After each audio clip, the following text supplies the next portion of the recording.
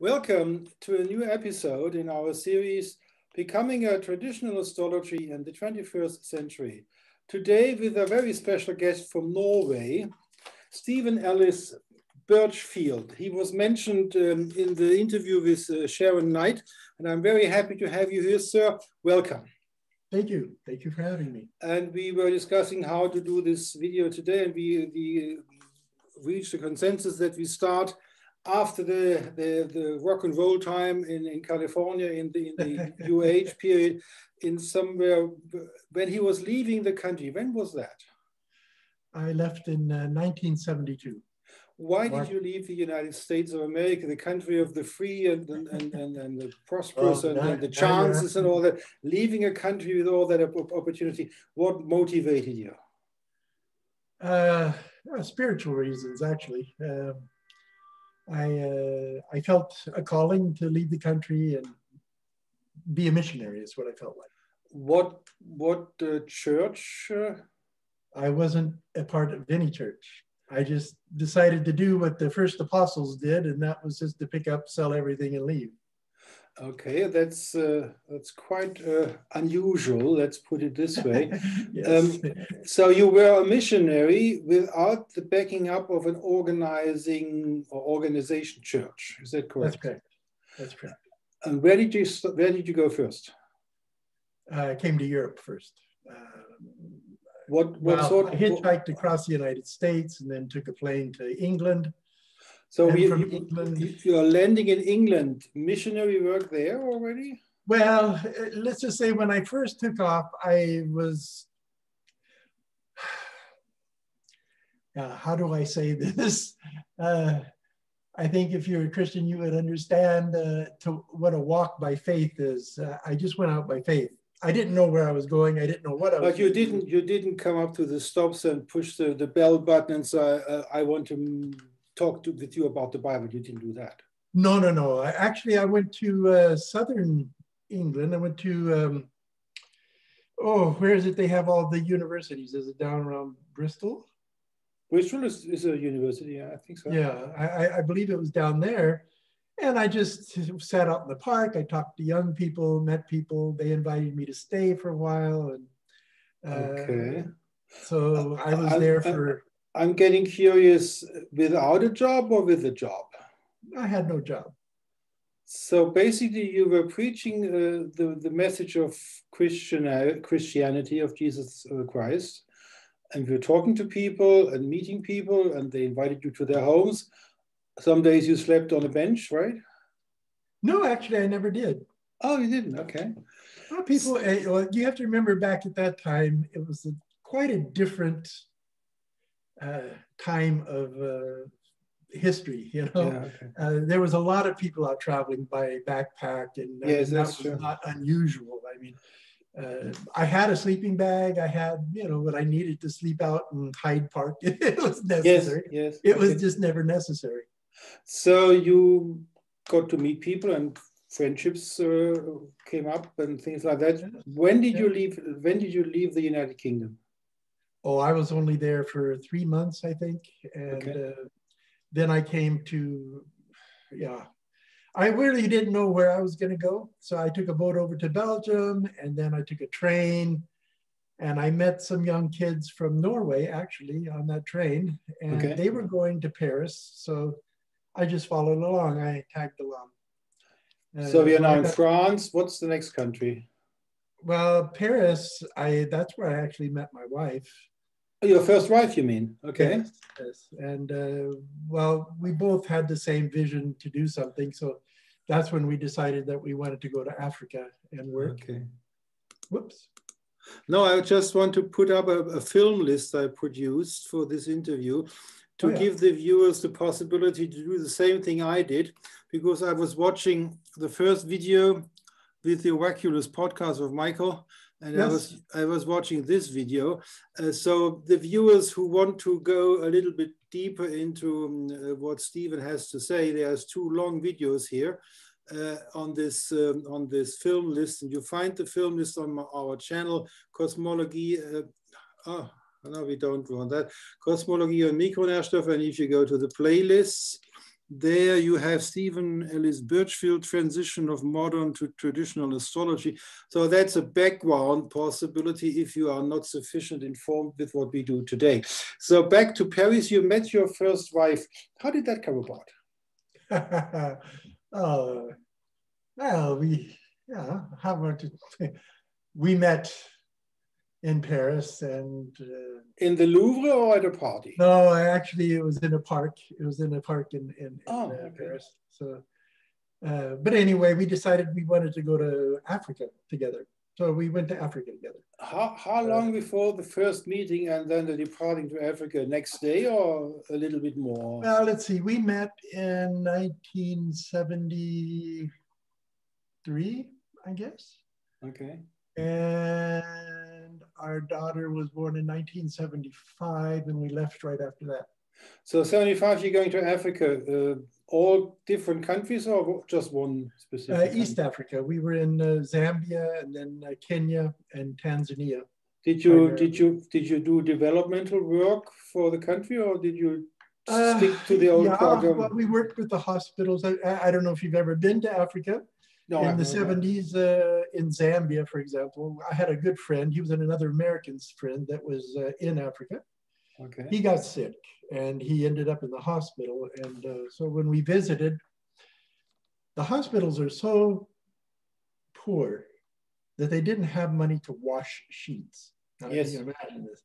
So they had wire cages that when somebody was operated, they would use a wire cage to put over their body and drape the sheet over that. It was a very poor hospital. I mean, this is in Lusaka in, uh, in Zambia. It was the capital of uh, yes. main hospital in Lusaka, as a matter of fact. And so we felt very convicted to go out and raise some support for the hospital. So okay. uh, we visited uh, all the farms in the area uh, and uh, we raised uh, continual support so that the farmers, they would drive to the hospital every day and deliver milk and vegetables and foods and uh, we or so that was kind of what I wanted to give to the world. You know, I came, like you say, I came from America. I came from a very rich country, and um, I never was in total agreement with the politics in America. So for me to go out and do something like this was very important. And how long did this last in this hospital surrounding? Well, it would we that wasn't the only thing we did, of course. I met the Archbishop of Milingo, who was the Archbishop of uh, East Africa at the time, uh, a very sweet man, and he was so inspired by the fact that I, had, me and my family, had just come by faith. So he had us uh, go out and teach in the convents out in the bush. Okay. He had several Catholic convents, uh, so he asked us, would you please go out and teach these young ladies about salvation and about different things like that. So I did that for about a year. So I assume you're Catholic. No, I'm not. ah, so what, what, what was your, what was your denomination? Uh, I have, I, you know, uh, this is probably why I have Mars in the ninth house, is because I don't believe in the church system. oh, that's interesting. So the Archbishop of the Roman Catholic Church yes. dared yes. to send out an heretic to preach the Catholic sermon. but the guy, the, he was such a sweet guy. He himself was married. If you can imagine, an archbishop in the Catholic Church got married. I, this was the, one of the biggest scandals. I'm, starting to get the picture. Yeah. Okay. This was one of the biggest scandals. But he was he was a real dynamic. I love the guy. I cannot say enough about his heart and his desire to preach the gospel. This has this must have passed the observation of uh, Ratzinger being the congregational spearhead. That's an interesting story. How long did that go? Oh, well, we were in Africa for about three years, almost three years. And all this time, hospital and congregation and Well, it wasn't just the hospital. I mean, we, we got that started. And once that was started, we, we worked with, we visited the prisons, for example, and, uh, uh, you know, had services for prisoners and met them and helped bring things that they needed into the picture. And okay. I mean, it wasn't just that, but there was a lot of different things. Okay. Uh, I went to Tanzania afterwards, um, uh, where uh, in order to stay, of course, you, know, visas things were kind of important. So uh, at that time, I had a, a job uh, working as a teacher in an international uh, school. So I so, taught French. In, so in considering the fact that you had five children with your first wife, yes, we're getting to the number 12 later on. Um, did, all, did the second child already arrive in that period? The second child was born in Tanzania. Oh, okay, and the third one? And my third one was born in the States. Okay, now we are. Yeah, so we have to come, come I got very. I was after I was in Africa for several, like I said, for two two and a half, almost three years. Okay. And then I got very sick. Uh, oh, you got one of those diseases of Africa. Well, yeah, it, happens, you know. Okay, and you and you went back to the states because of uh, insurance, I suppose. Yeah, I went back to get some R and R just to get my health back again. Yes, yes. And we were in the states for well, from 78 to 83, almost five years. That's five years. What did you do in that time? Well, then I, I was working in my profession. I'm an, I'm educated as an engineer. Yes, I know. Uh, so I was a project manager for a huge uh, building firm in, in California at that time when I was there. Five years of constructing work. Uh, yeah, uh, yes, basically that's what it was. So um, 83, what happens then? Uh, then I felt didn't, I didn't want to stay in America anymore and we wanted to go back to the mission field. So we went back to France. To France, okay. And so three, two of my kids are two, I have one child born in France, one was born in Tanzania, uh, and two were born in the States. And then the fifth one was born when we returned to France. So, so now we are in, you are in France. But what what job did you do then? Well, uh, I started working with different organizations. Uh, I worked a little bit with Doctors Without Borders. Okay. I worked uh, uh a while with the Red Cross. Okay. Uh, I was in uh, the refugee centers in Syria and Lebanon, Uh, and uh, also in um, uh, Syria, Lebanon, and There's one more there. okay, my brain. Oh, never mind. It's just, we're getting there, the picture. Three countries I was there. And how long? And, how long did this type of work last? well, I traveled back and forth a lot from France. My, I was based in France, but I traveled out, and I was I would spend three, four, five months abroad, and then come home again. Okay. Uh, where I would raise money and funds, and then I would travel back out and come back. Um, and then in 1984, 85, I met a very inspiring man. They called him Brother Andrew. He was uh, from the Netherlands. And he had uh, this open door ministry, it was called. And uh, he was uh, smuggling Bibles and gospel literature into the Eastern Europe, into the Soviet Union. Okay. And that's what I did for the next till the wall fell in 1989. Oh, you, you were traveling five years as an undercover agent. That's that's uh, heavy. So okay. I smuggled Bibles. That was that was rather dangerous. Uh, I have a lot. I had a lot of ref, uh, ref, relatives in the in the German Democratic Republic, yes. and I know from experience how they looked into your suitcases and under oh, the, wait, car. I, tra I traveled to. Uh, I was on my way to Czechoslovakia and had to travel through East Germany. Yeah. And I came into East Germany. They came, they of course they stopped the train outside of Berlin. I mean, you don't even you you don't even get into the city. It's like a kilometer or so outside. Yes, All towers and guns. And, yes, yes. You know, barbed wire fences and dogs and the whole business. And they were checking the train and they came in and they checked my papers and then they went out. The guy just stopped in the hall. I had my I had a lot of gospel literature with me. In your suitcase well, on this trip, uh, I was going to do some camping and meet a lot of young people out, in, and we were going to have Bible studies out in the nature, put it like this. So I had a tent with me and I had a sleeping bag, and I had taken, I had rolled up in my, my tent, I had rolled up all this gospel literature, lots of it. and uh, this, these, this guy, this, uh, you know, I, he's a he was checking, he was the one checking passports and he came, he, he saw mine. I mean, I was how old at that time? I was 45 years old, a single American traveling.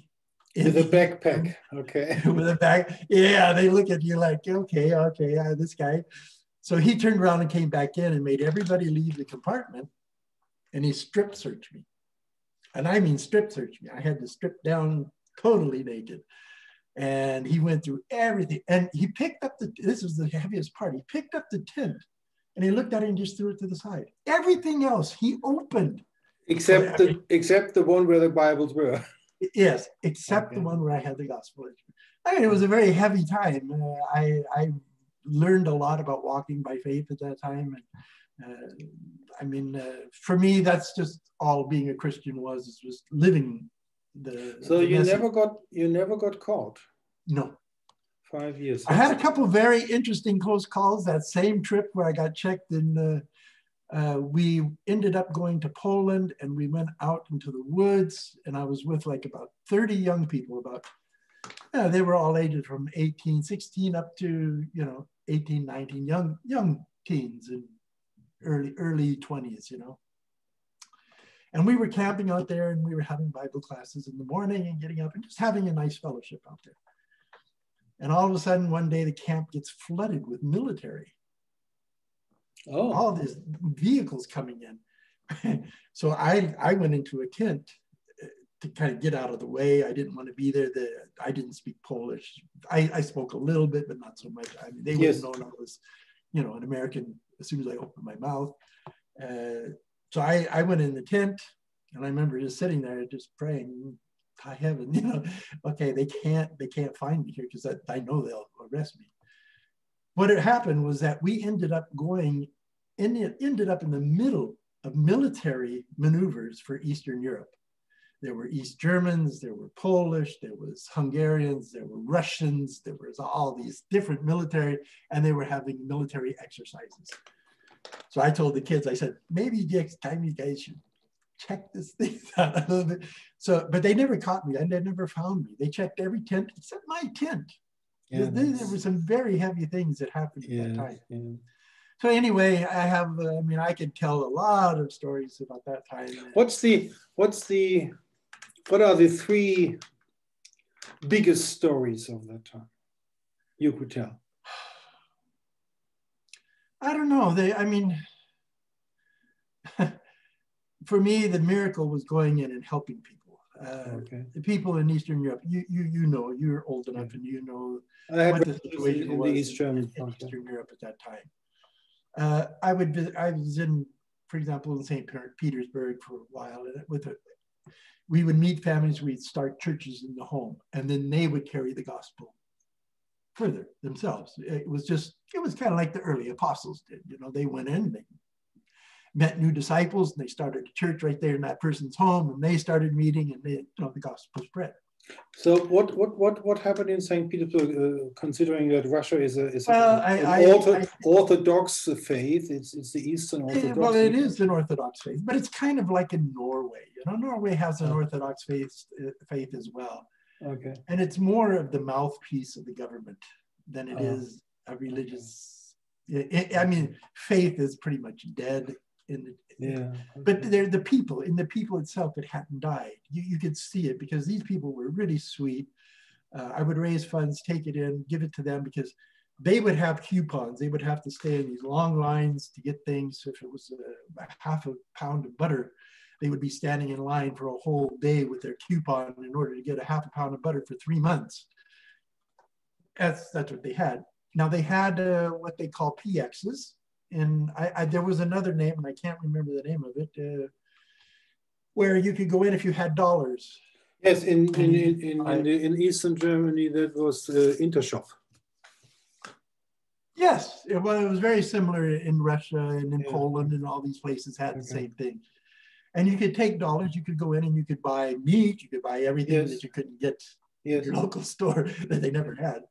So that was one of my big projects was to go out I, when I was in France. Uh, I lived in France at the time and I would raise funds with my family and my kids. We sang, we did a lot of different things. We raised a lot of support. I would take that money in as dollars and uh, leave it with the, the families there. They would share it to the, the different families would share it and they would be able to get, get things that they needed. It was a, it was like, you know, I don't look back. I think I see it as a small effort by one man and his family at that time. Uh, but we touched a lot of people's lives and that's, yes, yeah. that, that's really what it was all about. But it was only always you and your family was back in France. Yes wife and kids were. Which was very unfortunate. wasn't that strenuous for the marriage? Yes, that's why we ended up separated. Oh, that's that's the reason why you why you uh, ended the marriage. When did you when did when did that marriage end? 1987. And you were in France when it ended, I suppose. No, actually, at that time we were in Denmark. Oh, you were in Denmark. How did that come about? Well, it was just a, a, question of logistics and working with other people who were doing the same outreach in Eastern Europe. Yeah, but to, to get a divorce, you need to have authorities, and in your case, French authorities to get the divorce. Well, we didn't get a divorce. I, I, don't want to go into that story. Oh, okay. Oh, I understand. It, it, I was just curious. It's not a pleasant story. Oh, okay. Uh, I, I, okay. We oh, ended up separated. yeah, but I thought nowadays you're on good terms with your first wife, right? Yes, and all yeah. my kids. As, okay, as well. so let's let's jump over that. Uh, Denmark marriages ended. What what happened to you then so, next? Two years later, I met my wife. Uh, and in that my, two my years, second wife, my were you, were you alone in that two years, or did you have two or three of the children? No, I I had none of my children. Oh, that's part of the sad tale there. okay. So, so, so two years on your own in Denmark. Yes, I was traveling. Well, that's at a time when I started raising funds to uh, build three orphanages. We wanted to. Uh, we were involved in building one in Bosnia one in Romania, and then another one in South America. And, uh, okay. Uh, it's called Hope of the Future. And uh, so I was working with that. I was traveling in Norway and in Sweden and raising funds to, you know, support this work and uh, driving down with clothes and medicine and everything down to uh, to Romania and Bosnia both. So I did that with my my my second wife's uh, brother, he was involved with that. So we okay. we just got involved as a big family. It was a big family thing. So. And you married, and then the next, uh, she brought two children into the marriage, right? She brought two children into the marriage. And then five other children arrive over the time. so you are now a father or stepfather of in total 12 children. That's right and that's quite a number. And then you have quite a number of grandchildren and grand grandchildren. Um, now let's see, this work for the orphanages, how long did that go? Oh, from about 1989 until oh, 1993, around there. 1993.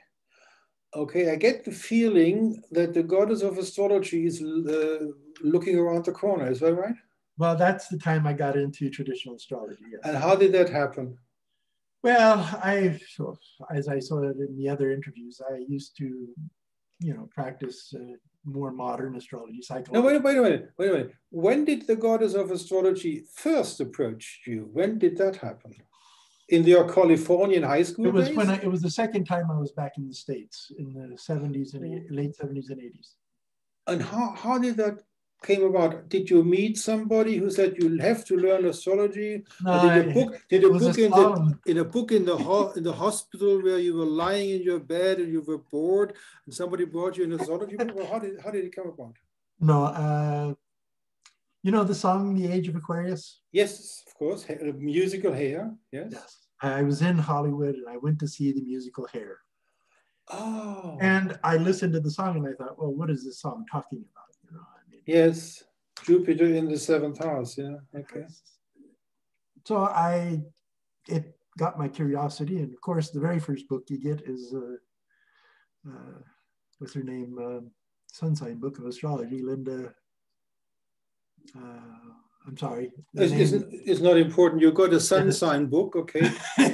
yes, but I mean, I eventually I learned how to cast charts to do it all by no, hand. No, no, not not so fast, not so fast. How did you do that? Did you Did you have somebody helping you, a guru, no. or only by books? Only by books. Only. So you're a self-taught astrologer on the psychological side. Basically, yes. I mean, my I, the people that I listened to the most were people like uh, Howard Sasportas and uh, Liz Greene Liz Greene Dane Rudhyar. Yes, yes. Rupert, uh, Alexander Ruperti, think people like that. Yes. Okay, now we are in the 90s. And um, how did you find the hindsight people? I had a good friend in, in America that I corresponded with. His name was Jonathan. And he had taken Robert Zoller's basic course. The first one, yeah, okay. Yes. And we I can I can insert it that moment we are talking with Steven, who is a Adeptus Medievalis Astrologiae, and the guru who bestowed this uh, knighthood of astrology to Steven in 2004 is Robert Zoller. That's how, how and when did you get in contact with Robert Zoller? Well, that was what I was going to come to. Uh, um, this Jonathan that I knew in the States, he gave a challenge to me. He said, I challenge, because if you know modern astrology. Yes, I know. I, I, have my, I have myself. You don't believe in prediction. Yeah, I have, I have, I have myself an education from Nikolaus Klein in Munich, who was a Zen master as well, and it was esoteric psychological astrology. So I know what you're talking about. So he said, if you want to learn how to predict, then I challenge you to, to learn from Robert Zoller and look into, he said, and he's the one that actually pointed to Project Hindsight. Okay. This was in 1991. I was very discouraged with modern astrology. I think I mentioned the story. And in the other videos, you mentioned so. Yeah, so I'm not going to go into that one again. No. Uh, but I got very discouraged with the this psychobabble, that uh, dribble that was, you know, we try to we say we're helping people, but we're not help, really helping them. Uh, anyway, uh, I met. So I looked into Project Hindsight, and I started subscribing, and I, I I never met Robert Schmidt or any of these people before, but I did support them and I started getting all their materials. And I just read on my own. So I, I was getting a lot of, I really love Vettius Valens. I, I love this guy. He's, he's, he really spoke to me a lot. He had a, a clear mind and he was very precise about things. Uh, so I read it and I read it, but still it's like, the material that was coming out from them. And then there was a little Bonatti and there was a little Morin. And I mean, Morin is, I'm not going to get into that discussion, but uh, you had bits and pieces of astrology, traditional astrology coming out. Of course, William Lilly, uh, a lot of horary astrology and things like this. Uh, but I had I couldn't put it all together. Uh, how does it work? You know, how do you really do a chart, you know? Yes. And that's when I decided, okay, um, I need a teacher. And so I wrote to Robert Zoller in 2003. Yes. And I asked if, you know, to be a student. And he said, I'm sorry, my course is full. Yeah, you told the story in the other video. Um, and then you got a place because somebody somebody out. dropped out yes. and he offered me that place so I, that's how i got into let's use let's let's come back to what you said about Morin de Villefranche uh, there is Zoltan Mason astrosynthesis i believe that is something of interest to you right uh, no, not really. I've never read it. oh, you've never... I have never looked at it. Oh, uh, okay. I got the impression from the other interview you did. Okay. No, I, I just know of it because Robert used to talk about it. Oh, okay. Uh, I, I, he got the the the uh, the uh, uh, technique uh, of what they call primary motivation. He got that from Zoltan Mason. Oh, okay. okay. That was something that came from him, that came from this astrosynthesis. Yes. Uh, Robert, in his course, he said, well, there's no, you know, uh, this is, I can't really call this a traditional technique because it's this and that and the other. I would disagree with him because now that we have a lot of material. Uh, we have a lot more material than Robert was able had access to. Yes, yes. And it's very clear that it was something that they were doing anyway. Uh, I can I've got a lot of quotes in the back of my head where that it was very important to know you know where uh, uh, it, where was it? In one quote i think it was in saul saul talks about it. He says that um, oh, what is the quote now in my head? I have to remember this. He talks about uh, uh, i would almost have to find the quote for you uh, this is this is Mason Zoltan and that is to be found on astro.com the biography of uh, this interesting Slovakian American astrologer, proponent of the methods of Morin de Villefranche, Morinus, and a translator of Morin's book 21. And in Germany, we have that too. We have uh, a book, uh, Kombination and Synthesis, something like uh, what Morin was propagating. And um, we have a translation into German of the 21 book you have here, and we have uh, we have an, uh, an information here on the homepage about James Holden, who translated the whole Morinus.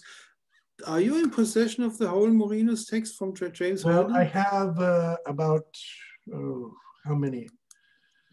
I have five or six of the texts. I so this remember. is an example for the translation by James Holden. This is a paperback uh, book 21, but the, all the other books of Morinus are translated by James Holden, a very famous American astrologer. Yes, yes. Okay, so that is uh, synthesis. We have a we have a tradition in Germany um, where you can find this book. These are Sindbad Weiss, uh, German authors who tried to do a a book about how Morinus did the synthesis of astrology. Now, I'm showing this because I wanted to ask you, Steven, yes. one problem we as astrologer, and especially if, if we are traditional astrologers, one problem we have, we got a, a lot of information out of the of the nativity chart and all the other charts and all the prediction methods. But the problem sometimes is it's not so clear cut as in horary. In horary, uh, uh, astrology, you have a clear-cut question and then the chart is used to answer that question. If you have a nativity chart, um, that's a little bit more complex, more complicated, and especially because there are some different informations you have to synthesize.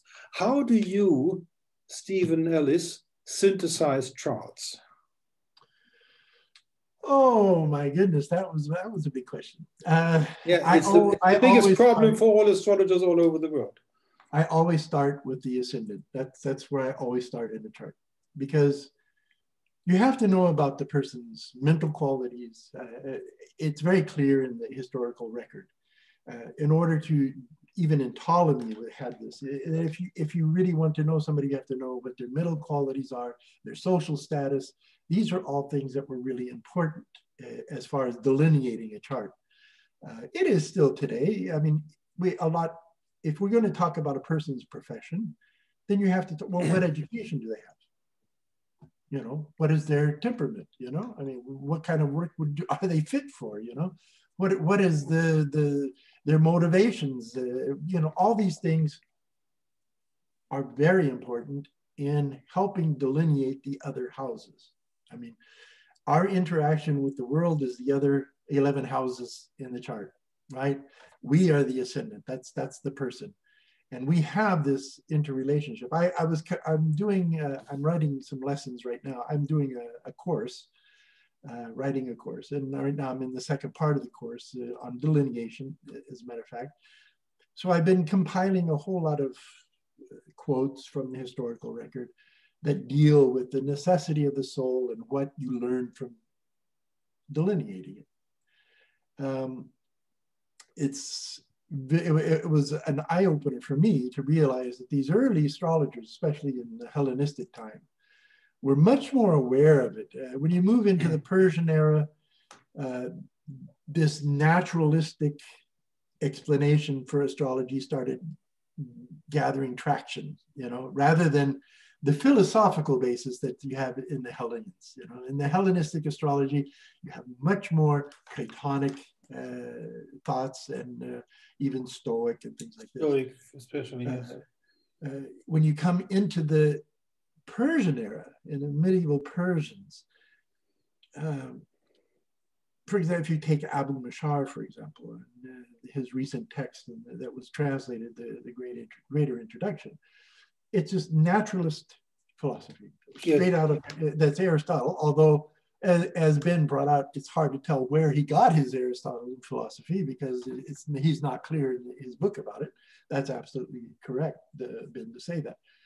Uh, but it is Aristotle, and it's uh, you have to remember that Abu Mashar himself, he was brought to Baghdad not for astrology. He no, came, I know, I know. He came because he was a master in the hadith. Yes. In the sayings of Muhammad. And that was his job. That was his scholarly, what shall I say, his knowledge was based around that. And then the goddess of astrology was lurking around the corner again in the case of Abu Mashar because the younger a younger guy, uh, nine years younger. Nine years challenged, younger. Challenged him, sort of. Um, well, he challenged his philosophy. This yes. is what happened. And poor Abu Mashar was standing there with his pants hanging down, didn't know quite how to, he wanted to answer on a religious basis. And the other guy speaking from a philo- philosophical. Right? Al-Kindi was, uh, uh, the, the history there, there's a very good history book that was written uh, about Al-Kindi it's by a, an English author. I'd have to dig up the name. Uh, he wrote an autobiography biography about Al-Kindi, and it was very informative when I read it. I, I really enjoyed it because a lot of things came out. For example, at that time period, the, uh, the Orthodox uh, Islamic imams were totally against bringing in Greek philosophy. Uh, they didn't want anything to do with astrology because in order to bring in astrology, you had to bring in the philosophy. So the whole thing was more or less a taboo subject to begin with. Uh, it was Al-Kindi who fought to open its own curriculum aside from everything else so that, and it would be heavily, what do you call, monitored, to put it like this.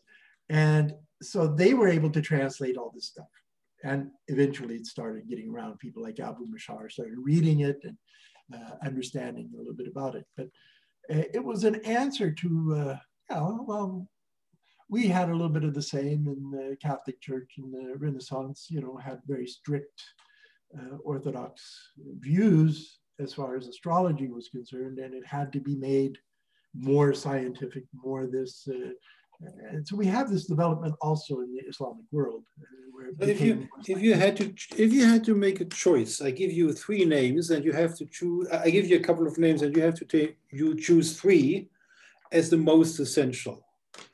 Vettius Valens, Manilius, Dorotheus, Julius Firmicus Maternus, Al-Kindi, Mashallah, Abu Mashar, Ibn Ezra, uh, Ali Ben Hachel and Bonatti and uh, Giordano, um, how, how this Renaissance guy, Gir Girolamo, uh, think, uh, you know what I mean. Which yes. three, which three would you take as the most important? Well, we don't really have a good copy of Dorotheus, okay. but we have a, a half decent copy of Valens, I would say Valens for absolute sure. So Valens is on the list. Okay. Valens. How about, how about this? How about this uh, controversial figure Ptolemeus? Ptolemy. Uh, Ptolemy, I really, I, you know, I have to say this. I really like Ptolemy. But you wouldn't uh, put him I, on the I list. I like it, huh? You wouldn't put him on the list.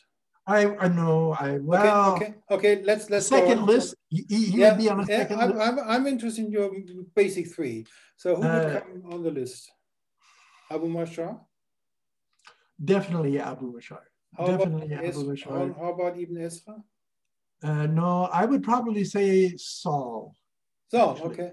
So you would stick to the uh, to the Arabic part. You well, yeah, Sahl especially because Sahl was a superb compiler.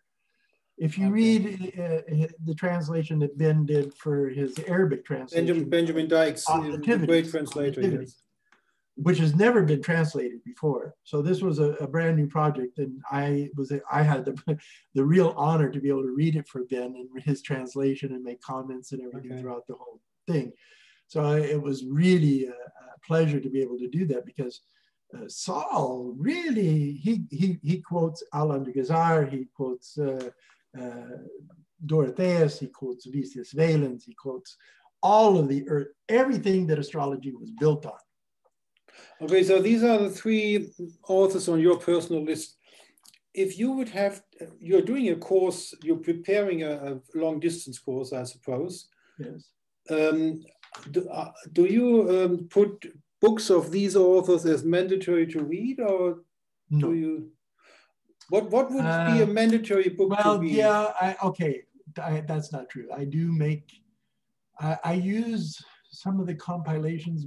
Uh, this one, Introduction to Traditional Astrology, that Ben Dykes wrote. The, the, large one, not the small one, the large one. The large one. It's got okay. not not the one by Abu Mashar, but it's got the compilation of Abu Mashar and Al-Qabisi. Yeah, that's that's that's another book. Yeah, okay. okay. So okay, um, now let's come back to my initial question the biggest problem for every astrologer in the world, no matter what system he is following, is the synthesis. We were talking about um, Morinus and his method of synthesizing the factors of, of a chart.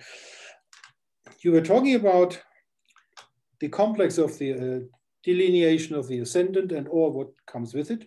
You were talking about delineation of the soul and everything what comes it. That's two factors for a synthesis would that be sufficient for a first approach to synthesize a chart? Well, I think it's a very good start, but you okay. have to be able to understand how its relationship to the other houses. I mean, that that's where it's all about. So that Sometimes, comes that comes into it too. So basically, we are talking about a. I think you were talking about this as concept, conceptual language. Yes. yes. Can you elaborate what you mean with the synthesizing process in the delineation of a chart is the end result of a conceptual language process. Is that right? Yes. So yes. what do you mean and by that? something that I uh, absolutely. What? I'm an engineer by profession. I, okay. I have two degrees in engineering. Uh, so for me, mathematics is alpha and omega. Uh, laws of physics, laws of science are involved when I first started studying traditional astrology, it started, it resonated with me simply because we were, not because I believe that the planets are doing anything, but it was the conceptual language that was being used that was so alive. And it was like math. You could put these things together and you were coming up with sentences and you were coming up with phrases. This is one thing that Rob used to tell us. He said, if you can learn the language of astrology, you can synthesize a chart. Uh, and it's a complex, it's not just black and white. And uh, I know in your interview with uh, Sharon, for example, you asked about using the lots. And uh, well, I use the lots all the time. Uh, that's a very interesting, because simply because when we talk about prediction, uh, whether it was the Greeks or the Persians. For them, it was, uh, you know, in the mouth of two or three witnesses, let every word be confirmed. This, it was not just, well, I'm going to pull this out. You can read it in Abu Mashar's on his solar revolution. He talks about, you know, predicting death, for example, when you have a really uh, direction through the bounds and you have a malefic handing over to a malefic and there's a malefic participating. He said, it, it's a very bad period, but it doesn't necessarily indicate death unless you have something else that indicates it. I mean, again and again, Abu Mashar takes us back and he, he emphasizes the point of having several indicators. The same is true of the early Hellenistic astrologers. If I'm working, if I want to, for example, if we talk about children, I've talked about this because of my own chart is so exceptional when it comes to that. Yeah. Uh, well, you have 12 If you just look at the fifth house, if you just, if all you're doing is looking at the house and the ruler of the house and planets in the house, you're not going to get the story. No, need, I have, I have And you need the, you need a lot of children, right? I have 12 children, yes. I, I know, I mean, you, you need the, a very lot of children. To oh yeah, you need a lot of children, absolutely. Mm-hmm. As a matter of fact, that is if you read Sahl, for example, in Sahl, when he talks about delineating children, first thing he talks about is Jupiter, and Jupiter being in the tenth house. As a matter of fact, this is you go back all through the authors, and they all say the same thing. And then he, he talks about the lot of children. It's not until almost the end of all these delineation techniques that he talks about the house. Then you look yeah. at the house, you look at the ruler. I, I believe Abu Mashar in his great introduction, uh, and I have I have both here the, the one with Yamamoto and Burnett in translation and the one of Ben Dykes. Um, I think it's chapter, it's book 11. It's a whole book about the lots. Yes. Is, is that the longest text about the lots available for us? Or, or is there another book which is even more? No, I think that's that's got to be the lot, the longest chapter. Uh, about the lots. Bonatti set so much price on it that he, he nearly quotes it verbatim in his yes, yes. in his treatise. You know. So, so let's let's come back to the most important lot, in my opinion, the lot of daimon uh, Dorian Gieseler Greenbaum has written a dissertation on the on the daimon, and she recommends every uh, traditional astrology never to use again the lot of spirit because it's not a spirit; it's a daimon. What is your relationship to your personal daimon? Okay, I this because I disagree a lot with what other people have said. Oh, you disagree with Dorian Gieseler Greenbaum about yeah, the daimon? I, I believe. Oh, okay. Because first of all, I'm a Christian. Okay. And I know what the Bible says about it that God has given each one of us a spirit, our yes. own unique spirit. And, but that's isn't me, that, the, that isn't that the daimon? That's that. Voila. this is what I feel it is. Okay. It's our own personal spirit. It's not okay. like a third party okay. looking in on us, but it's a, actually a part of the ascendant. I mean, it's, it's part of the things that come inside of us. It's it's uh, it works within us to lead us and guide us. Okay. Uh, okay. Uh, this this is just my okay. I'm, I'm I know there's probably uh, other people who would really disagree with me. No, it's okay. okay. I, I was I, I, want your opinion. That's why I'm doing these talks. Okay, me, you. Uh, I I use it in the sense that it is a person's spirit. Yes. Uh, yeah. Okay. You got up a text here.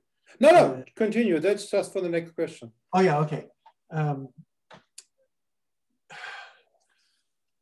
to find that spirit that leads and guides your mind, your thoughts, and everything. Because and, and uh, th this is what to me, and and and Vettius Valens gives the best description of the lot of spirit that's ever been written.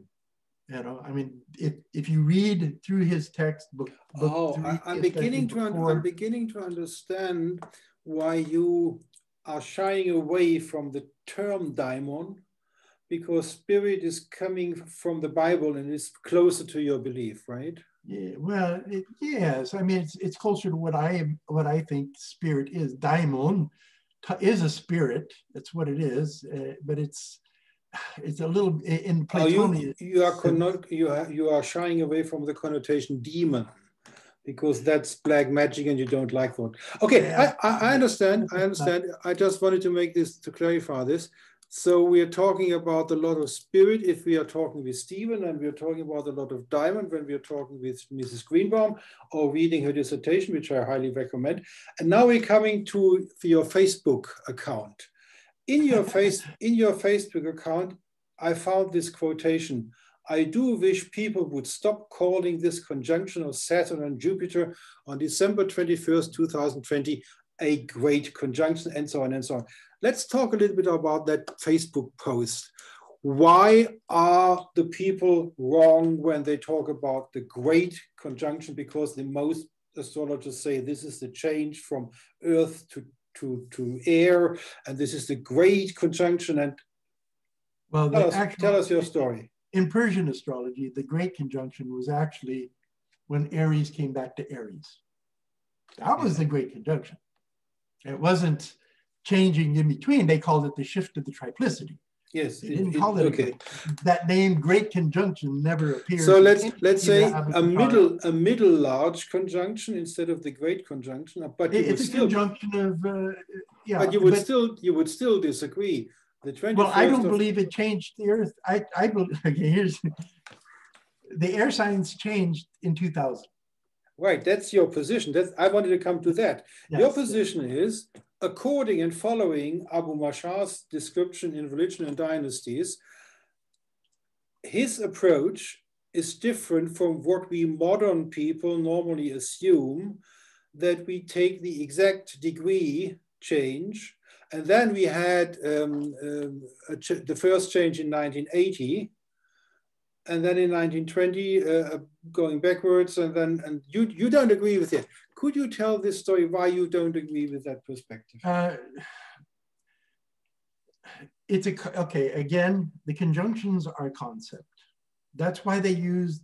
They could calculate very accurate, well, accurate enough where the conjunctions would be. By they could have done that. Yeah, yeah. Abu Mashar was able to do that. So, but he so didn't. It wasn't he, just Abu Mashar, but it was also Mashallah and Umar and uh, all these different. Uh, they, they, they, they could calculate it. Okay, they were using.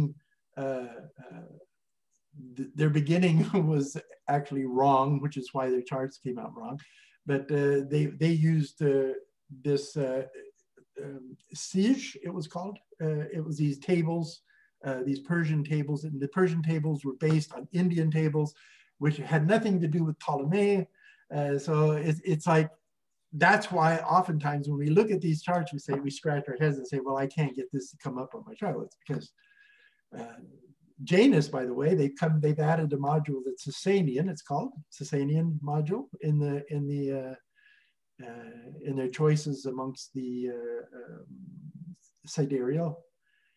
And that one almost always gives me correct if I'm ca calculating the check because they use the Sasanian tables that uh, that's based on. So anyway, that's just a side jump. Uh, the thing is, is that they used the, the, the median conjunction. That's the only conjunction that will give you 13 and 12. The, you, you can't get it from anywhere else. You can't get it using sidereal. You can't get it in using tropical. The only way you can do it is use the, the median motion of the planets. And I've had people say, well, you know, that's not astrology. Well, it is. I'm sorry. If you if you really want to get technical, I mean, look at the 12th parts.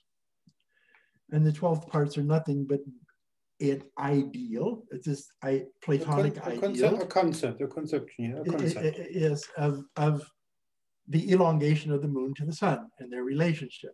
That's how you come up with two and a half degrees. That, that's the basis for it. The 13 degrees is based on the motion of the sun, on the moon without the sun. It, it's the moon's actual motion. So they're actually two, the 13th parts are very different concept than the 12th parts. The 12th parts are based on a solar astrology because they're based on the moon's relationship to the sun, which is why they you never hear them using the 13th parts. Okay, this is very simple. Uh, and this is just a, this is just an ideal concept. the, 12th parts uh, is only an ideal concept.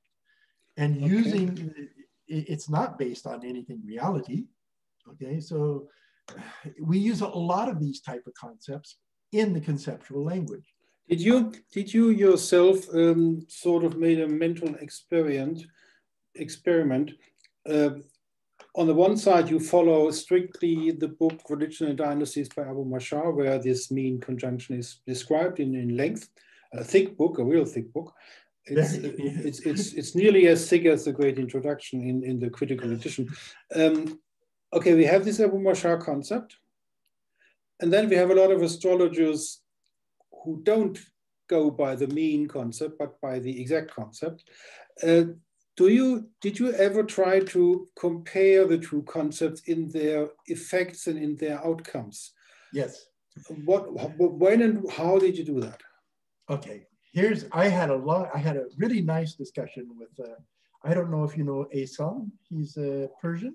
Ehsan? No, no. He's a Persian astronomer. Oh, is that the is that the first, the second video you made?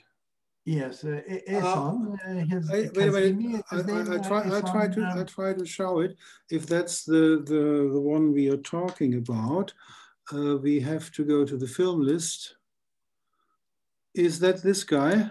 No, no, no. That's Ashwin. Ashwin is uh, uh Indian. Oh, okay. Uh, but you never, so, so you never did a, a, video with him, didn't you? No, no, no. The, we see, I, oh. I, did a lecture with him when we were in uh, Turkey together, and I did. We did. We oh. both did lectures on Persian astrology. And you didn't record the lectures and didn't put on on the internet, so only fifty people know about the lecture.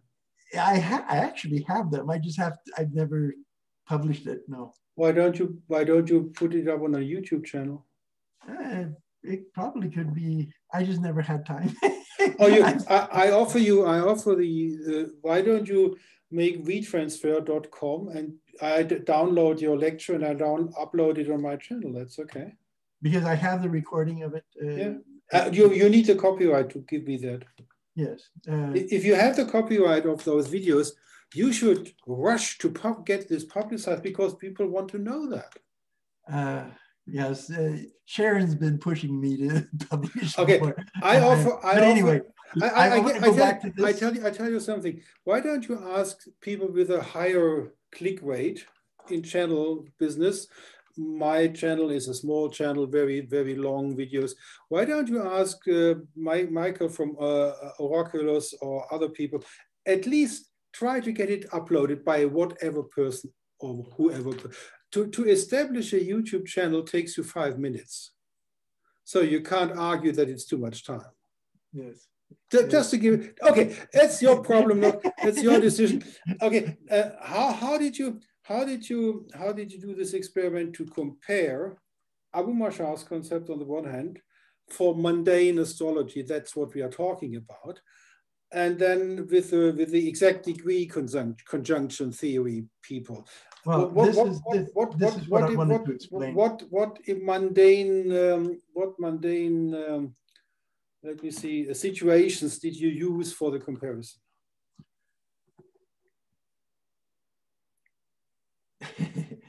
um, well, the recent conjunction for one. Uh, this yes. I'm, but I'm not going to get into this. What I wanted to get into was that Ehsan, who is Iranian, yes, he lives in Iran He's uh, actually an Indian astrologer, but he really loves Persian astrology. He has access hundreds of texts from the later Persian era in which they use not only the exact conjunction, but the mean conjunction. Okay. So this is where I, and we had several discussions about this because it was very important to me. And the these Persians, they called it for example, in our conjunction in 2000, when you came to Taurus, right? Uh, that was the Earth conjunction. It was borrowing from the earlier triplicity. Mm-hmm. It was actually the shift, but it was borrowing from the. This is how these Persians called it. Or it would borrow from the next coming in, right? Uh, so they had a way to look at it. And looking at it like that really caused me to stop and think a little bit about okay, well, what was the, uh, if you want to call it the zeitgeist of uh, the Earth triplicity? You know, uh, when you look at the, the last uh, 250 years or whatever it is, 200 years of uh, history that we have, it was the establishment of borders and nations. I mean, that really came down to fine tuning nations uh, everything from, I mean, if you look in Europe in 1812 and 1817, you had Norway, you had Denmark, you had all these countries being established as countries on their own feet again, you know, after the Napoleonic Wars. And it, so there was, there was all this, France, I mean, I, I could go in, I, I've been trying to write this all this down to find time to write all these things down. Yes. Uh, I just, I don't get the time. Okay. A, I'm a practicing astrologer, first difference. But anyway, my point is, is that in 2000, it was borrowing, the way I see it, is it borrowed from the earth. And, but it was foreshadowing the air signs. Okay. And, so are you the, are you the only Norwegian, Middle European astrologer in the year 2021 who is following Abu Mashar on the mean conjunctions, or do you know other contemporary astrologers who would uh, establish a club of Abu Mashar's conception. Well, having the torch Abu Mashar is right and you other people Abu are wrong like conception, that. Because it wasn't his conception. He was just uh, expounding on it because if you, I know Ben has has promised he's working on another mundane book of Omar's mundane book on beginnings and uh, the revolution of the years, and uh, uh, actually on this subject.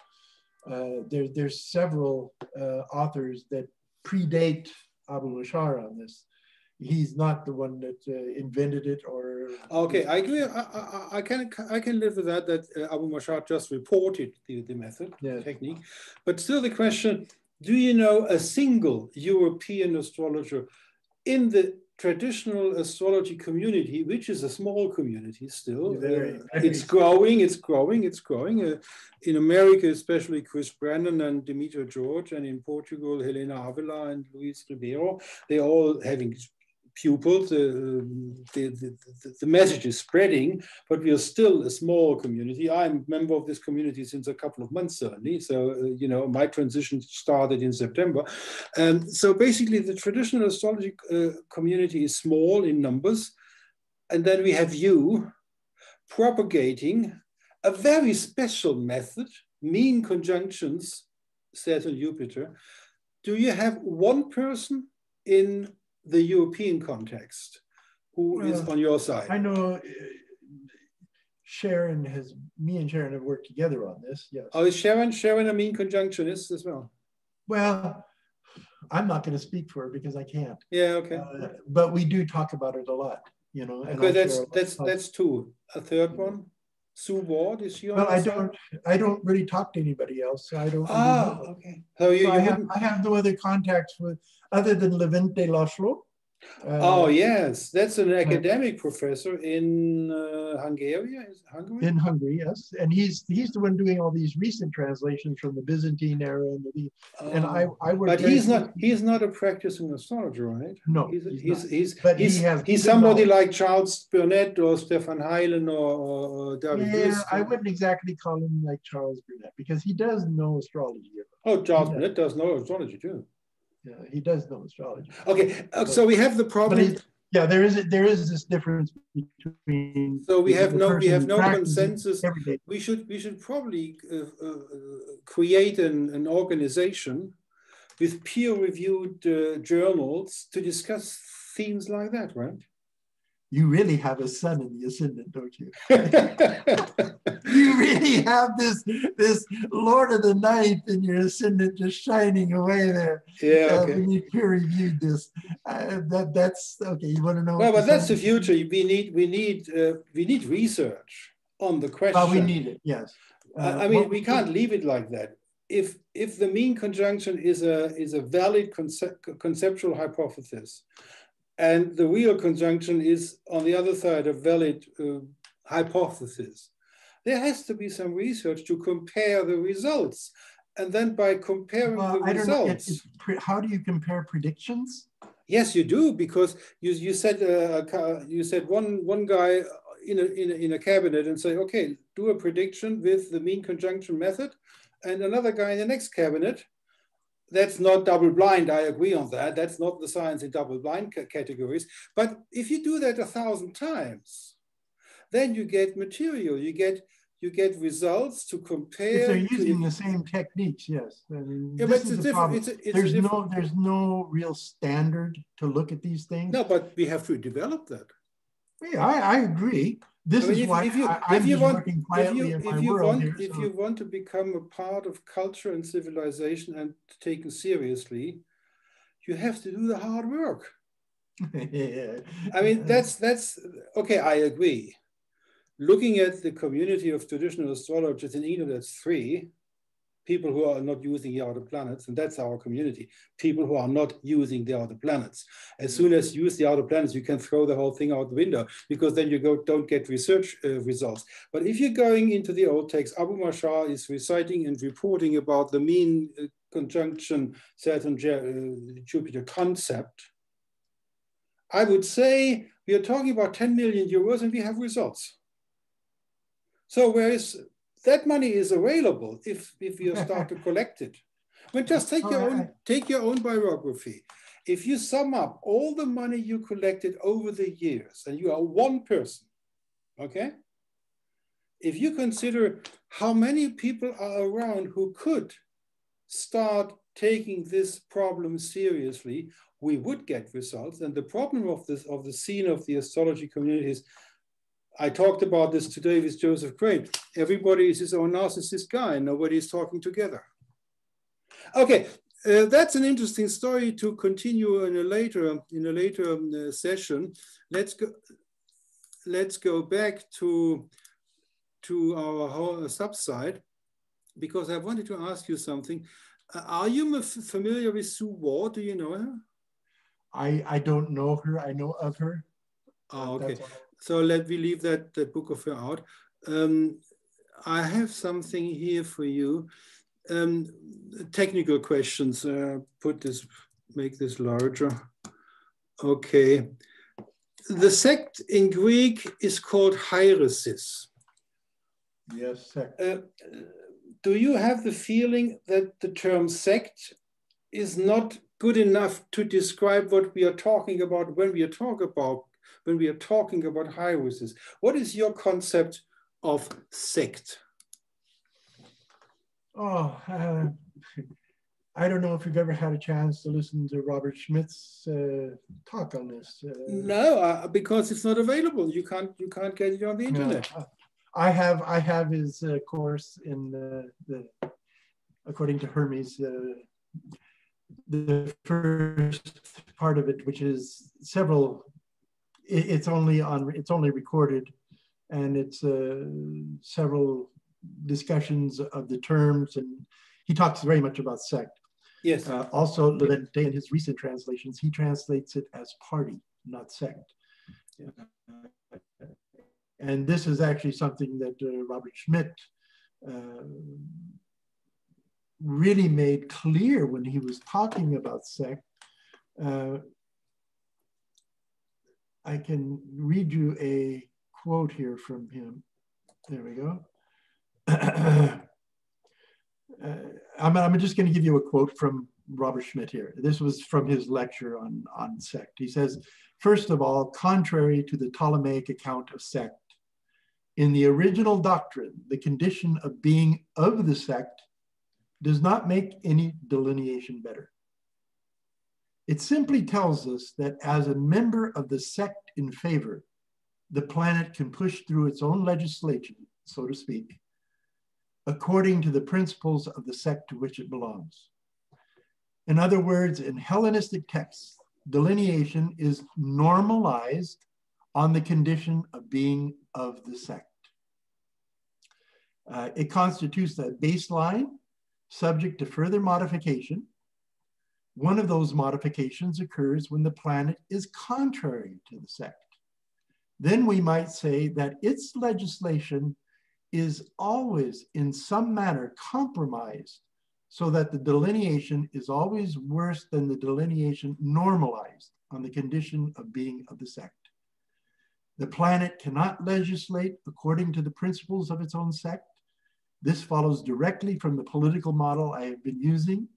When a given party is not in favor, and this is the word that Laszlo is not, uh, uh, Levente is using to translate the word sect, is party, he says, uh, the political model, uh, when a given party is not in favor, it has to add or subtract measures from the legislation it would otherwise put through if it were in favor. And such compromises always corrupt the legislation. Now this, this text right here, this lecture from Robert Schmidt was very profound.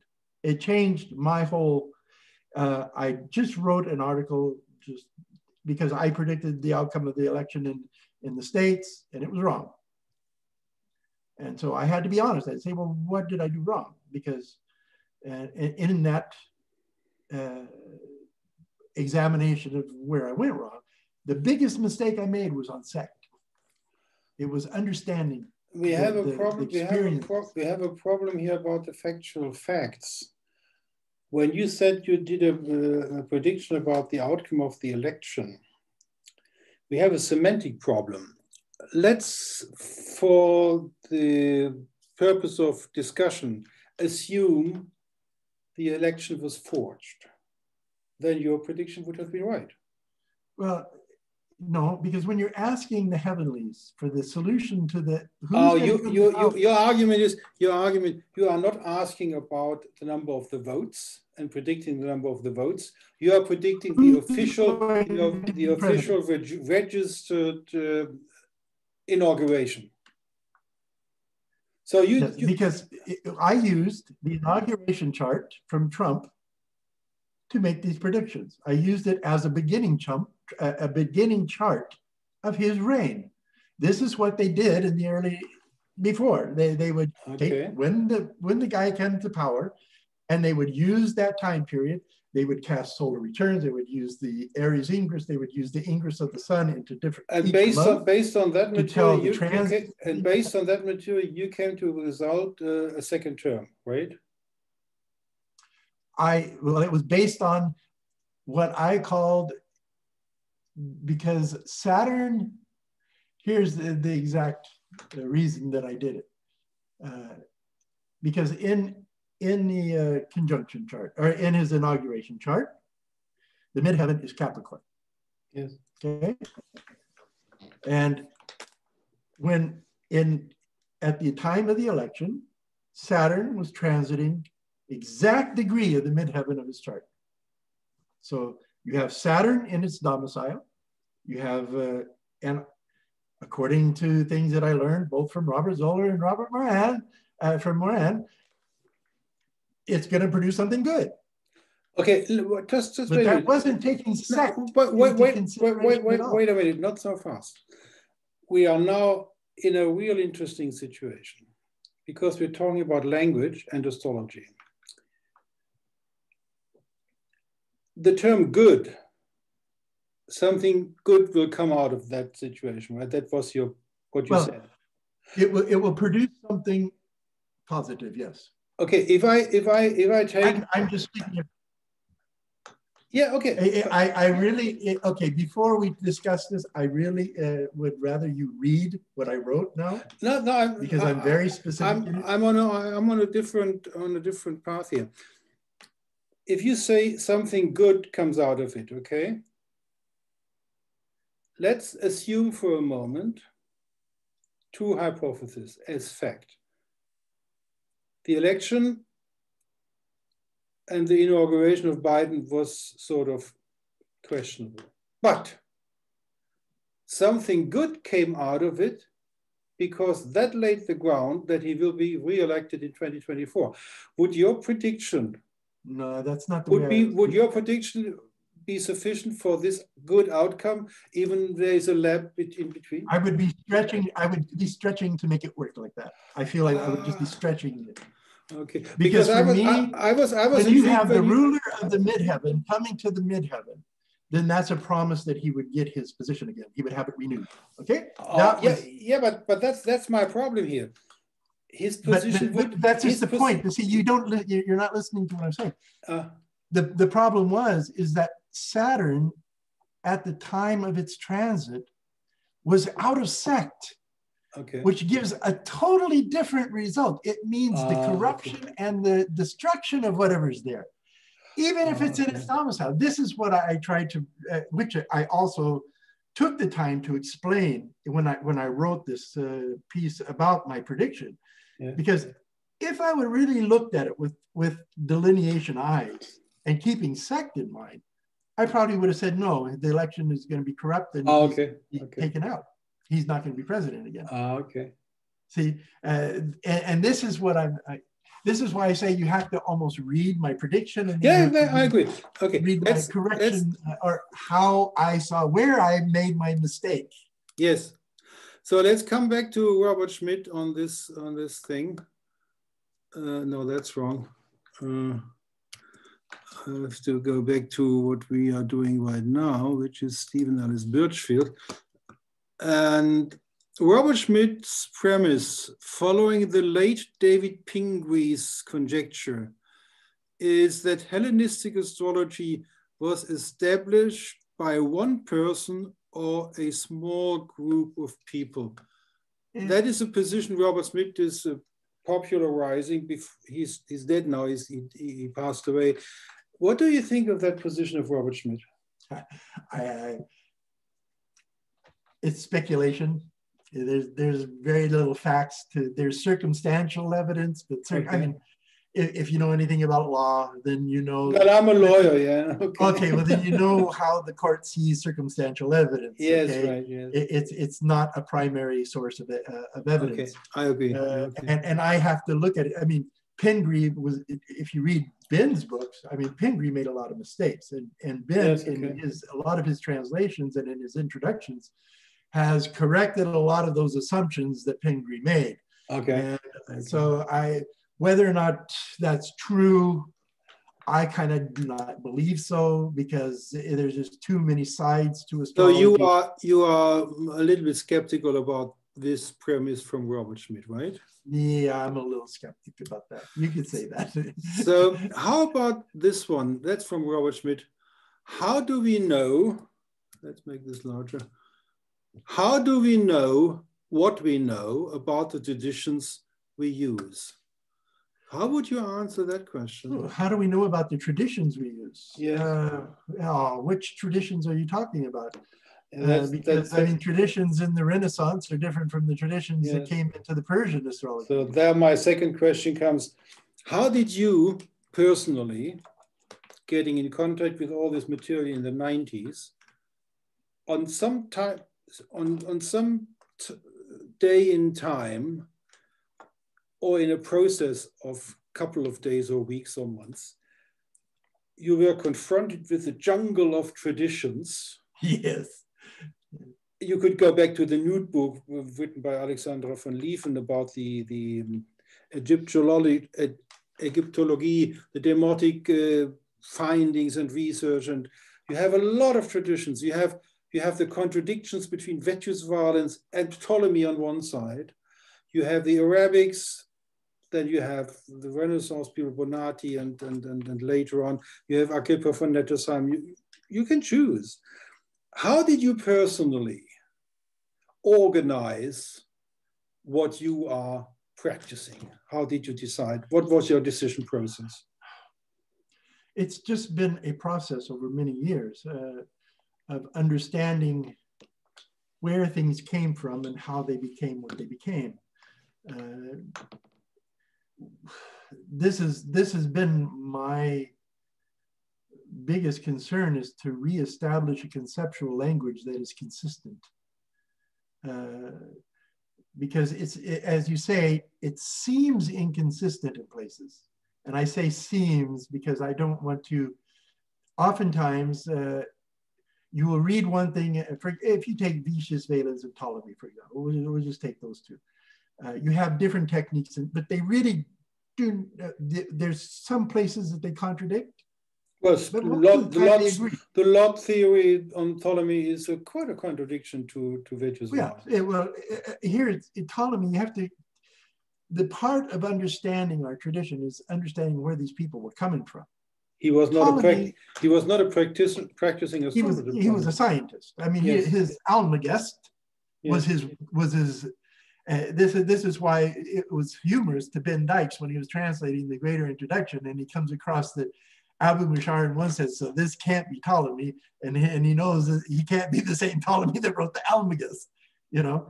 And it is, we know it is the same Ptolemy, yes, right? Yeah, yeah. Because, uh, and Ptolemy, he was using resources and he was, if you read the 20, I believe it's the 21st chapter of his uh, first book, uh, the first book of Tetrabiblos, uh, where he talks about I don't really go when he was talking about the 12th parts in particular. He said, Well, I don't really go into them because you know there's no real astronomical basis for this. To me, I kind of laugh and think, well, that's kind of short-sighted when it's really based on the elongation of the moon from the sun. I mean, that's what it's totally based on, and his astronomical movements of the planets. So for him to say something, but it just really emphasized to me that he really didn't have an understanding of everything. Uh, so he tried to, uh, he didn't use any of the lot except for the lot of fortune. And the only way he could make that work for him was by keeping it from the day and the night, because in that way, if you keep it the day and the night, then the lot of fortune becomes the ascendant of the moon, right? The distance from the sun to the ascendant is the same as the moon from the lot of fortune, only in day charts, okay? So this was his rational. In, okay, I'm, I'm not. I don't. I wasn't there. So, but I really believe strongly this was his rationalization of, of just using the lot of fortune, because all of a sudden it became the ascendant of the moon. You know. So. Yeah. Okay. Uh, but but see this this is the difference between Vettius Valens, who was practicing it. Over how many hundreds of charts does he have? Some of them are repeats where he just goes into further detail. I think 124. Yeah, something like that. It's over 100 charts. So yeah. the guy was a practicing astrologer. He was he was down and dirty in the trenches, you know, delineating yeah. charts and you know. I, I, I, assume the biggest problem we have is that Vettius Valens with 124. That's the bulk of the horoscope we have at all. Because uh, if you look at the book of Neugebauer Van Hoesen with the Greek horoscopes, Vettius Valens is the main bulk. And we have and then we have then we have Ptolemy and you know then we have a, a century nothing. You know yeah. we lost we lost everything for a century. Then somebody comes around 200 years later the, in the fourth century it's it's Julius Firmicus Maternus and then we have another gap of 100 years. 100 years where people were doing astrology and we don't know what they did. Yes and, and just think about the the Persian astrology yeah, same have, thing. Same we thing. zero, zero from the Parthian era.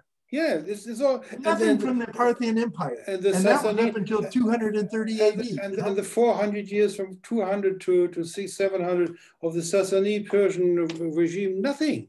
They they destroyed everything. So basically, we are looking for the for the haystack in a fog. Yeah, it's very. It's very it, that's why what we have is a, is a very difficult. Uh, to, to reconstruct astrology. Yeah. Uh, I, I kind of think that's why modern astrology kind of pushed its way in because they could reconstruct. It's easy. It's easy. My, my, it was easy. Yes, exactly. I learned I learned the psychological astrology in six weeks, basically, know? with yeah. a little of practice in between the weeks. But that's what was offered. You know, six weeks of training and homework in between. And you are talking about 26 years of learning. You're still not finished. Yes, I'm still not finished. You know, I'm, I'm really, I, I make a prediction, I get it wrong, and then I have to sit down and say, well, okay, why did I make, what did I do wrong here? Yes. Is right. it the, is it the is it the technique that's wrong? Yeah, yeah. Was I wrong in my delineation? And I really have to study it. I really have to, you know, I, I, I excuse me, I say pray over it because I have to, I guess you could call it meditate over it and see where you make your mistakes, you know? Yes. And, and I think that's just being an honest astrologer because I, you know, I want to have an honest astrology. I don't particularly want to make it biased or anything, you know, have like it is today. It becomes so politically biased and philosophically, yeah. everything's got its philosophical bias. Uh, I, I, just want an astrology that is consistent and gives me consistent yes. results. Yeah. This is why I studied with Robert because this is what he promised in his course. Yeah.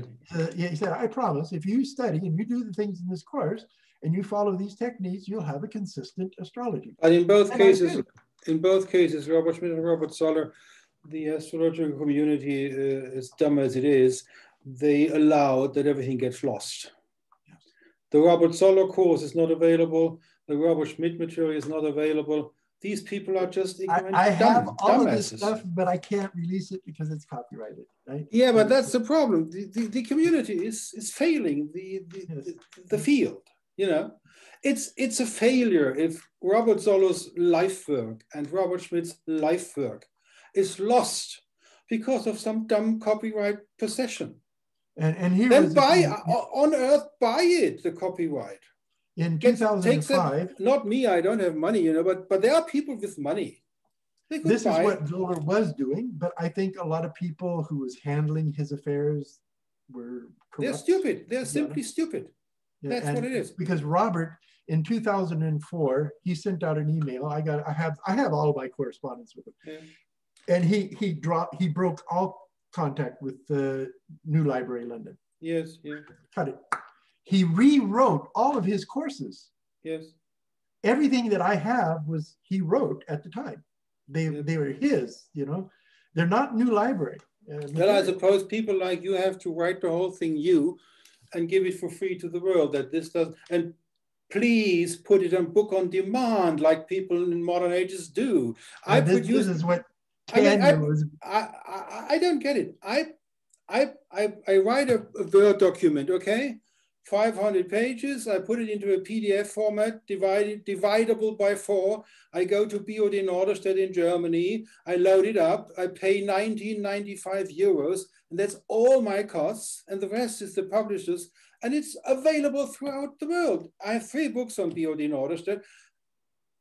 And you decide for what price you want to sell it, but please publish it not on not on some you know some shelf and okay uh, that's that's my mission uh, I want I want to go back to your homepage. I, I you know what uh, you, you sent me your your information for your chart. I see you living it right now. Thank yeah, you. okay, I can understand it. No, I so, really do. Yeah, I mean, anybody that has the sun as ruler of the ninth house sitting in the ascendant, and this is it, it's the the exaltation of knowledge you know, yes. you want to get the knowledge out there. You want to get it accumulated. Yes. You want to get it transmitted.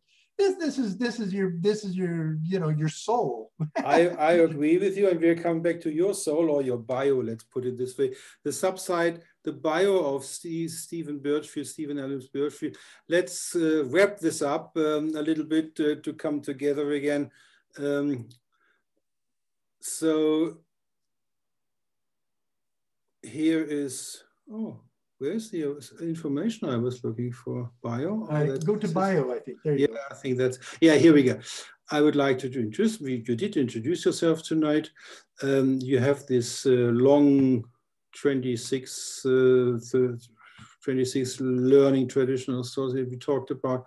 You were with Project Hindsight, uh, and you have, and now I want to come to this, you have been research director of the International Society of Classical Astrologers. What is that? That was a very exclusive group of people. Uh, I'm no longer a member of it. Um, does it still exist? Yeah, well, I believe it does. Uh, yeah. Okay. It's run by a, um, uh, what's his name? Uh, Peter he's Canadian. Well, he's British, but he lives in Canada. Okay. Uh, he's a, he's a traditional astrologer, and he continues to write articles. I wrote a lot of articles on that website. And, okay. Uh, I did a lot of research. Uh, for example, articles on the Phaneria for you know. This is basically what I was doing is yeah. reading the historical record and yeah. and uh, putting together what is actually in the historical record. Yes. Okay. You were a member of the Society of Astrologers. Which yes. one? Am. Well, it's just it's it's all it is is a catalog of uh, classical uh, society uh, astrologers in the world who have uh, who have either graduated with diplomas or something, right? Yeah. Uh, so that that's one of their. and I mean, you have even published in the Astrologia Restaurata that yeah. the publisher was Bernhard Bergbauer. Um, that doesn't exist anymore. Did you have a good relationship with Bernhard Bergbauer? Uh, we knew each other through a couple of other uh, website uh, forum groups, I guess. So, so it was no personal connection. It just I had no. I, I I knew of him very much yeah. through Martin, Martin, okay. uh, who was actually my student for okay. a good year, Martin. Uh, but anyway, that's uh, I never really. Uh, they published some of my articles over there. Uh, okay.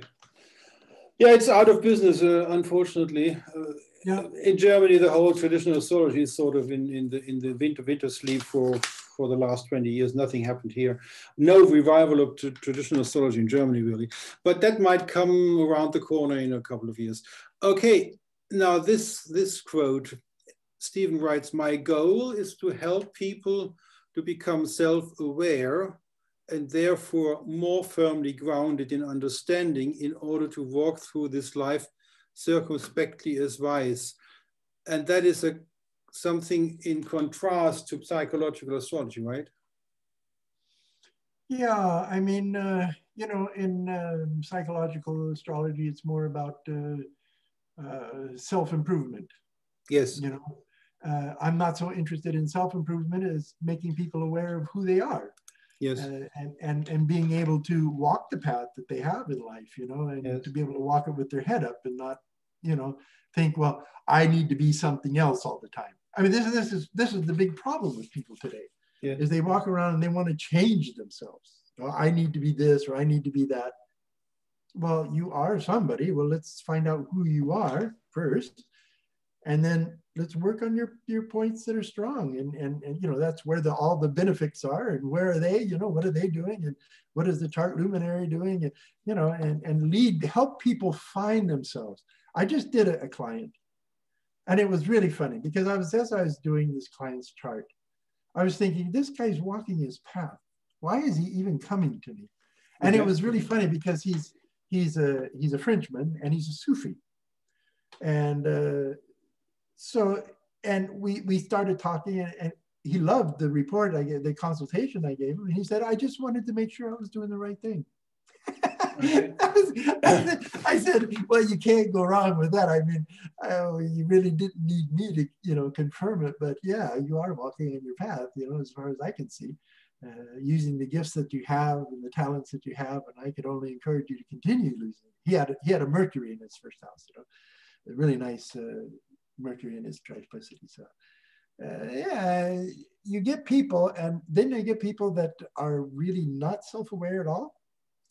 And then you tell them something, and they just kind of come a little unhinged.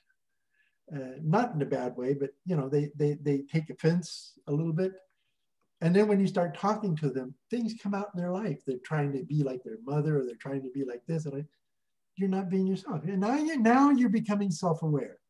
Now you're starting to understand yourself. Now you can walk ahead. Go ahead, leave this behind and go this way.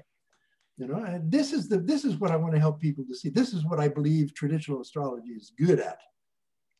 Would you agree that traditional astrology, including the outer planets is rubbish? Say that one more time. Uh, uh, the statement I was making was, would you agree using the outer planets, Nep uh, Uranus, Neptune, and Pluto, in traditional astrology, in a practice of traditional, oh, yeah, okay. it, it is rubbish. It's rubbish. Yeah, I, I agree with that 100%. no, com no compromise whatsoever. I sat down one time, and no, I don't compromise out at all. There's no reason to. So basically, what, I, what, I, what our, I'm getting, what I'm getting at is, rich. what I'm getting is, is this: there are people like you and me. I, I'm on your side with that. I think the using the other planets is rubbish. It's guiding us nowhere. But the number of people who are traditional astrologers who became, to I became a, a traditional astrologer in the last months. You have to realize I'm new in this. And uh, I have to read all the books you already have read. But I have them here. Okay, that's something. Um, so basically, what we are talking about is Tanya Daniels, in the talk I had with her, said Steven Birchfield took over the torch from Robert Zoller and is the only guy who is preaching the sermon in the way it was meant. Would you agree on that? You're asking me to lift myself up. No, uh, it's, it's, basically, I, it's basically a question. I really can you, appreciate can, that. Can, can, you name? Can you name another person who is a pupil of Robert Zoller, and he was alive, and who is writing articles in the pure traditional astrology sense? Ben Dykes. Uh, that's another story. I agree. In the introductory part of his books, there's Öner a lot of... Who? Öner in Turkey. I don't know that guy. Okay. Uh, he was a student, and he well, he uses the outer planet sometimes. Okay, I, I can't. He isn't really walking in the tradition like he was taught. No, I, that I have to to be very honest. So basically, Tanya is not so wrong because Ben Dykes is a very specific figure. Yes. Uh, he, he has a course. Uh, you can book the course of Ben Dykes. In a few weeks, we can book your course, I believe. But let's let's say, okay, so we have two. Ben Benjamin Dykes and Steven Ellis Birchfield. That's it. And Tanya Daniels, okay. Well, Sharon is a very Sharon is Sharon is a part of that group. I agree, but that's about it. We are talking about less than ten people. Oh yeah, we're very few people. Uh, very, very. Uh, Tanya has been so helpful. She reads my lessons that I write, yes, yeah. and you know gives her input and you know corrects my okay. language sometimes. So how do we change? How do we change that? How do we become thousand people? Oh, let me ask you a question. Yes. How long did it take you to become a lawyer? Oh, that's easy. I started studies in 1971. The first exam was 1976. The second exam was uh, in 1979, and I was in the ministry. Uh, I was in the, in the in the middle department of the administration government in Lower Saxony for two years. Then I went to the ministry, and, and I was a lawyer after, let's say, 10 years. People are expecting. See, see, this is the problem. Is is the commitment to it? Yes. We don't have it anymore. We don't have the commitment. Why? Yes. Because our art is is is an art. It, it's not something that I can just pick up and say, here, read this book, and you're gonna you can just start, you know, practicing it. There is no book out there. You have some simple primers that'll get you started in the right direction, but you can't walk away from this stuff. You have to, first of all, you have to have a, a, a good teacher Second of all, you need to have a good apprenticeship. You, you had as a, you had to intern. I'm 100% certain. You had to intern as a lawyer. You had to go in some place and you had to start at the bottom and you had to, you know, in a bigger firm and you had people over you controlling what you wrote and how you wrote it and how the cases that you handle, whether it's medical profession, whether it's engineering, any of these real what we call real fact. Uh, in Norway, it's real fog, real fog. In Germany, it's freie Berufe, it's uh, the free, pro, uh, liberal profession, right? That's that's what it you is. know. These things require time, all yes. of them, and they require a commitment on your part because. Uh, I'm committed to this because I, I love it. First of all, I believe I, it really, uh, in, as I said, as an engineer, traditional astrology resonates 100% with me. Okay, because okay. it's down to earth, it's a good language, it, it's a conceptual language. I can work with that. Uh, we just don't have people today that want the commitment. They, okay. they don't understand that. Like you say, six months, you can read a book and you can start, yes. you know, okay. passing a few horary charts and you can start, you know, making money. And people think that that's going to be a living. Okay. I, I, I, people are they really are naive today. They, they lack a commitment, this uh, both uh, scholarly commitment, because you have to read these texts and not just read them. I have to memorize them almost. Yes. You know, you, you, you get it inside of you and it just fills your heart. It's like I was once told that don't don't write a speech, fill up your heart with what you want to say, and then it's just going to flow. It's, yes. it's going to come out because it's part of you. This is what astrology has to be. This is what it was for the people before. You know, I mean, it was a commitment. And it's very hard uh, because if you go into it to earn money, then you're cutting your legs immediately. Yes. Because you're going to have to compromise at some place. You're going to have to compromise in order to get out and push a business. Yes uh, I, I am not that person because I had a I had a profession in my life. I am now retired, so I have income from my retirement, uh, and I don't need. So I can take. I only do two consultations a month. I won't take any more than that. I only take two clients because I need time to work with them.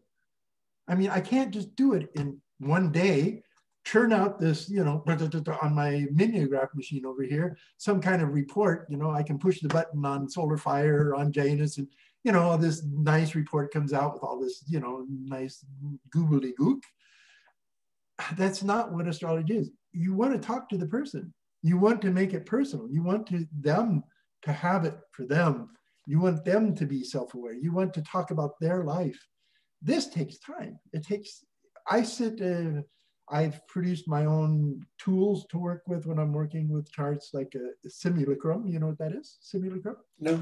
Oh, it's just all it is is a um, a, a, written chart. oh, okay. Information chart, but in a written form. Okay. Oh, okay. Uh, because why? Why do I do that? Yeah, because it makes me very familiar with the chart. When I looked at your chart, I sit down and I start writing it because why? Because it imprints it upon me. How many people really do that? Are they just working on, off of the screen, off of their computer yes. and a button or two? Uh, astrology is, is, it's like any profession that, as far as I'm concerned, it is just as detailed as being a medical professional or a lawyer or an engineer. It requires study. It requires a certain amount of time to intern, to become good at what you're doing, to have somebody help you get that way. It's not just, this is why we don't have it today. How many people do you know today, young people, are interested in learning a trade? It's different, yeah. Do you understand? Yes. Because a trade is the same thing. You're learning, you have to go in, you have to gain the knowledge of what you're doing, and then you have to work under somebody in order to be good at it you know, and have them check your work, and then you become a journeyman. Yeah. Well, in Germany, we have this craft uh, where we have this this combination. You you learn for the first three years, learn a craft like uh, plumbing or you know something like that, or painting or. That that's just a little bit lower level. That's that's, that's three years, and after that, you have a long period to, to become a master. And altogether, yes. it's eight years, more yes. or less. So, so and so people want tomorrow. They want to yeah, start casting yeah, cards so they can get their 200 krona or whatever, you know. So how about you becoming the 21st century Christian William writing the traditional astrology book like Lilly wrote the Christian astrology? How well, I am writing it. That's what I'm writing my course. I, I, I finally decided I have to put all this stuff down on paper. Will you publish it as a manual, a book on the market? Uh, I Tanya, she that was her first she said, Steven, you need to publish this as a book. Why don't you do it? I mean, you realize, you it may it may end up as a book eventually. No, I, I give you I give you impression. Okay, that's my 80-20 principle. You invest 20% amount of time to get 80% of results. That's a law in, in, in business administration. And for the additional 20% being very exact, you need another 80% of input. So why don't you follow this rule like this? You have all these articles and all the material you already have written. You publish it tomorrow as a PDF on Book on Demand Norderstedt that costs you uh, 20 euros, and then it's available throughout the world as a as an ISBN book.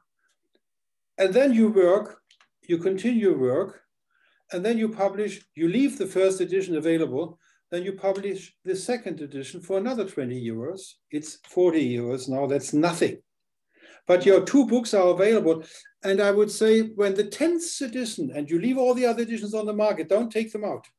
So one can follow what your work process was. And in 20 years, the 10th edition is the co comparable to Christian William Lilly's Christian astrology. Why not do this? And it's possible because you have the material already available. Put it to, into one PDF, format it to according to the publishers. They, they give you uh, a couple of, of options. I would recommend the DIN A4 option for the first volume, then you have no problem at all. And then you publish that thing in the next week because put all what you have in one book and don't edit it because that's a violation of the 80-20 principle. Here's the problem with that is that the way I write my material, I want I ask I'm Socratic method of teaching. Yes. I ask questions, I want them to answer themselves. But at the same time, in to, I'm I've got two, I guess you could call them beta students right now because they're they're reading through my course. Yes. And taking the course themselves but they come up questions. And so that's why I have an online part where yes. after each lesson, I can go online with them. They can give me their question. They can say, well, I've got this chart and this is what uh, I don't understand here. And I can help them, walk them through it, you know, uh, which is, which you can't do with the book. You know, I, I can, I can, you cannot, that is missing. I agree. Uh, but remember, we are talking about 80-20 principle. Yes, yes. The, your your your forum was part of the second part. You know, that's the exact the, to, to become hundred percent. You and Sharon are very much alike. You should you should think about the first step would be all the texts you have, and you have a copyright of that all those texts. All the texts you published wherever where they were, you have them still on computer, right? I have everything I've ever written. So it takes you, I would guess, eight hours work to publish them as a series of books because it will be more than thousands pages, right? The limit, the limit with BOD Norderstedt is 700 pages. I, I, I, 700 pages? That's that's that's the limit. For, that's the limit of publishing. What they just what I've written on the lots of the luminaries. I wrote a whole. I mean that that book in itself is over 500 pages. Okay, that's one book. Publish it. Don't discuss it. Well, Publish it as happy. it is. As it is. and no. then later, then later, give it to the give it to the community. Give it to us. Let us buy it. Let us read it in Kindle version and in ebook and in print. Print is very important. Never only electronic. Yes. And then publish it. It costs you 19 euros 95 cents. That's all it costs you. Nothing more. If you need help for that process, give me an email and I will walk you through the process. You have to establish an account. It's called bod.de. You, you open an account, costs you nothing. You become a customer of BOD Norderstedt, and then you produce classic projects. That's for the for the libraries and the and the booksellers and all. And everybody all over the world, in every country on the world, can order that book from BOD Norderstedt in Hamburg, and your cost is 20 euros. That's nothing. No, all you have to invest is eight hours, push it, put this stuff together, publish the number, publish book number one. Next week you publish the rest book number two. And let's say all your, all your lectures, all your articles are published in, let's say in four weeks. And then you start sort of organizing the classical manual of Steven Ellis. And you give it, you give it, you give it the title Christian Astrology of the 21st Century. How about that?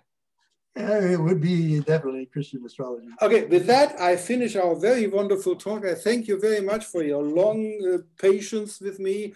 Uh, we had a long oh, talk. It's been very interesting, Volker. It's been very interesting. And uh, I, I, was I was interesting because you you sent me an email and you said, yes. "Here's here's my chart also." Yeah, yeah, you want to look at it and tell me about my soul, or you know. If, if, you want to use it, use it. Okay, I, I thank you publicly, and then we talk a little bit later when after the stopping of the recording. Okay, Steven Ellis Birchfield, thank you very much for being with us today, thank and you. for for thank the viewers, thanks thanks a lot for coming by. Her herzlichen Dank fürs Vorbeischauen, and auf bald, and I stop the recording.